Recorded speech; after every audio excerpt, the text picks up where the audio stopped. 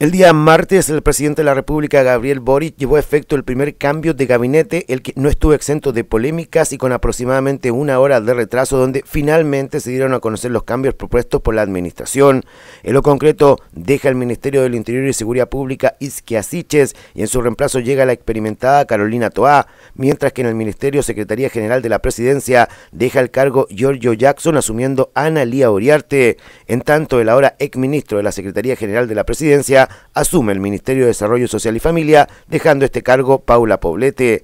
También hubieron cambios en el Ministerio de Salud, asumiendo esta cartera Jimena Aguilera y dejando el cargo María Begoña Yarza. En el Ministerio del Interior dejó su cargo Claudio Huepe para asumir Diego Pardou, mientras que en el Ministerio de Ciencia, Tecnología, Conocimiento e Innovación deja el cargo Flavio Salazar, asumiendo Silvia Díaz.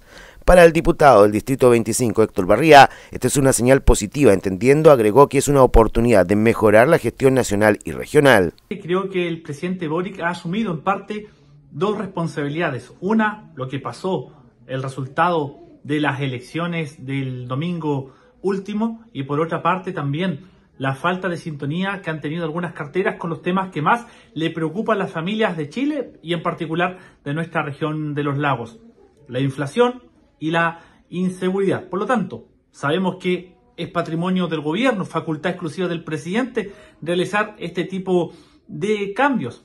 Interior, salud y otras áreas muy sensibles para la comunidad. Por lo tanto, le deseamos el mayor de los éxitos a los nuevos ministerios, que los errores del pasado no se vuelvan a cometer. Uno como diputado, cuando fiscaliza, cuando pide informes, nuestra mirada es poder contribuir en algunas seremías, en algunas carteras, no hemos sido lo suficientemente escuchados. Espero que en este cambio de conducción, reitero, aterricen los sueños, que sintonicen con la comunidad para que a este gobierno le vaya mejor y en definitiva las familias de nuestro territorio se sientan mejor representadas.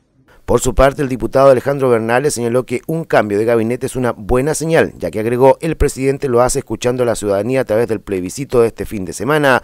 Por eso, ingresan a este gobierno personas más moderadas, con mayor experiencia política y capaces de generar puentes con los diferentes sectores políticos que hay en el Congreso.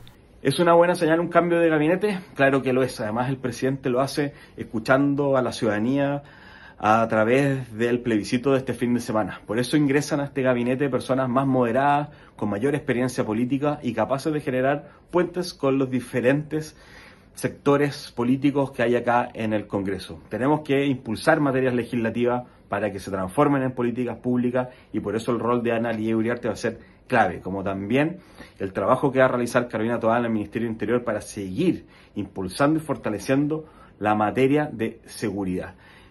Desde el Congreso vamos además a trabajar una propuesta para un nuevo proceso constituyente, donde estos nuevos actores van a jugar roles bastante fundamentales. Es por eso que este nuevo gabinete viene a dar un nuevo aire, viene a dar una nueva oportunidad para que también el trabajo de estos ministros finalmente decanten en una mejor evaluación para el gobierno.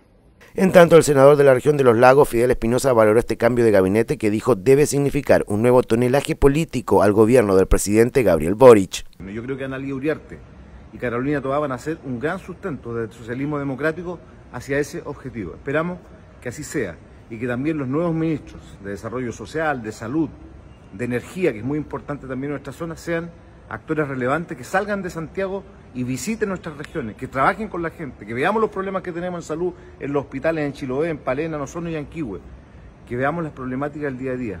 Llegó la hora de comenzar a gobernar, eso es lo que pidió la gente y espero que el gobierno escuche ese mensaje en seguridad ciudadana, en conectividad, en lo que dice relación con la inflación y cómo ayudamos a la clase media, a los sectores vulnerables y a las pymes. Llegó el momento que nos está pidiendo la ciudadanía, es una oportunidad y ojalá que no la desperdiciemos. Además, las subsecretarías también tuvieron modificaciones, como fue el caso de la Subsecretaría de Defensa con el ingreso de Gabriel Gaspar, la Subsecretaría de la Niñez, a la que llegó Yolanda Pizarro, Bernardo Martorell llegó a la Subsecretaría de Salud y Carolina Pérez a la Subsecretaría de Patrimonio.